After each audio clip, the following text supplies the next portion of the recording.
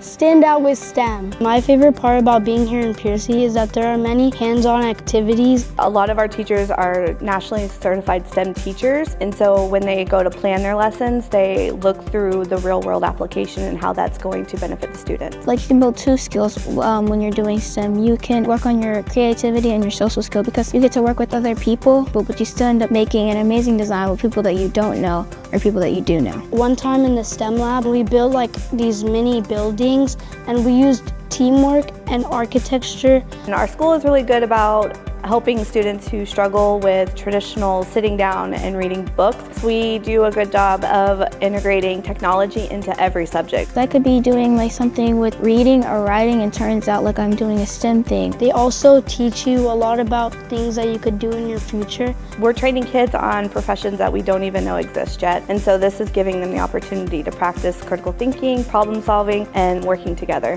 Stand out with STEM.